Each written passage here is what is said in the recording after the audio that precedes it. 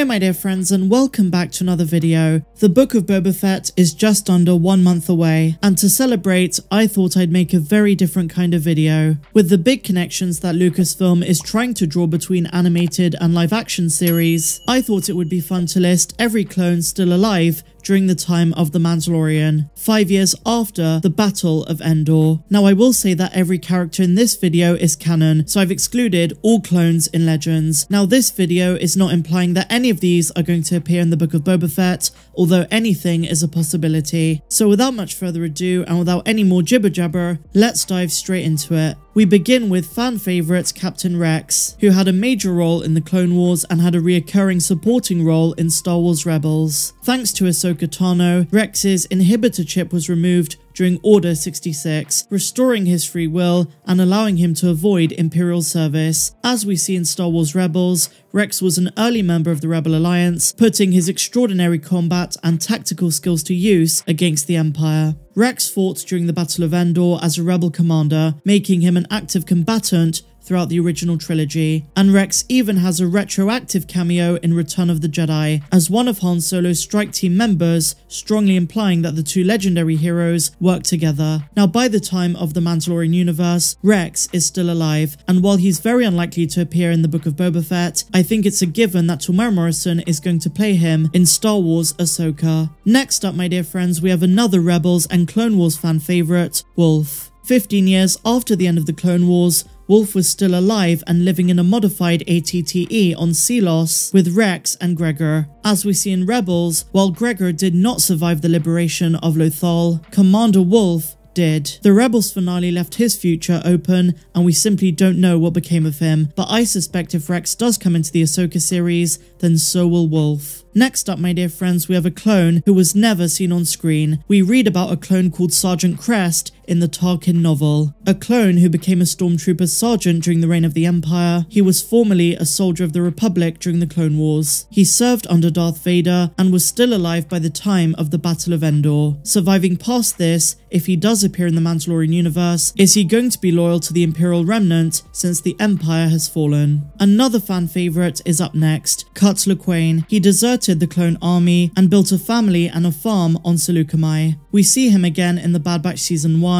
when Clone Force 99 landed on the planet. Now, interestingly enough, while we know nothing about what happened to Cutler Lawquane after this, he is mentioned as being alive after the Battle of Endor in the Aftermath trilogy, when a farmer by the name of Glenn Trafrael mentions that he knows him. He uses Cut as an example of someone who fled the war and as someone who prioritized his family. There is no doubt Cut is still alive during the Mandalorian timeline, and I think it'd be amazing if we see him in live action, although pretty unlikely. So next up we have Kix, a very famous clone who many people cite as being the only one still alive during the sequel trilogy. A clone medic in Captain Rex's company, Kix was one of the few clones in Star Wars to discover the clone army's true purpose before Order 66 was even executed. Rather than having him assassinated, Sidious and Dooku had Kix kidnapped and frozen in stasis, where he was then transported to Serenno. During its voyage, however, the Separatist transport carrying Kix went down in battle, leaving the clones stranded on Ponoma Terminal, but Kix remained in stasis throughout the entire original trilogy, eventually being discovered and unfrozen by Sidon Ithano and his pirate crew, and this makes Kix the only clone who was still alive during the First Order era. And finally, my dear friends, we have TX-828,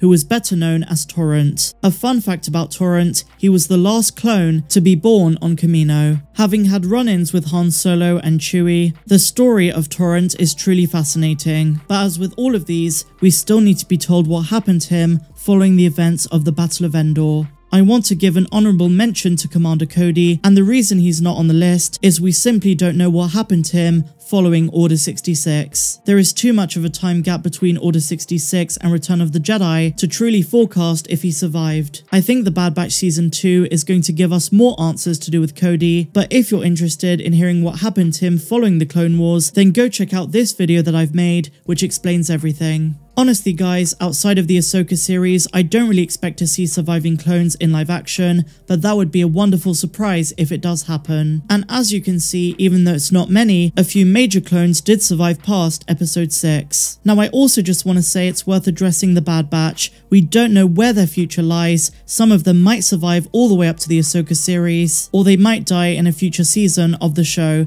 we simply do not have a clue. So if you're wondering why I didn't include Tech, Echo, Hunter, Wrecker or Crosshair, that's why. And while I think Omega is going to have a long future in the Star Wars universe, just like Boba Fett, while she is a clone, she's not a clone trooper. So just a little word on that. I also should say that clone troopers and the effects they had in the galaxy lasted a lot longer than the Clone Wars themselves. Clone troopers fulfilled their purpose at the end of the Clone Wars, and while they were quickly replaced by the Imperial stormtroopers, some clones were very much still alive, and as I mentioned in this video, there are only a handful of canon ones. In Legends, we have people like Able 1707, TK622, and Click. But as I say, there's no indication that those stories are going to be brought into canon. So it's best for me to address those that are canon and have a good chance of being addressed at a later date. I think it would be a massive missed opportunity if we don't see clones in The Mandalorian or its spin-offs. Collectively, in spite of being duplicates, the story of some clones are some of the most fascinating across the saga. A mixture of strong-mindedness, the question of free will,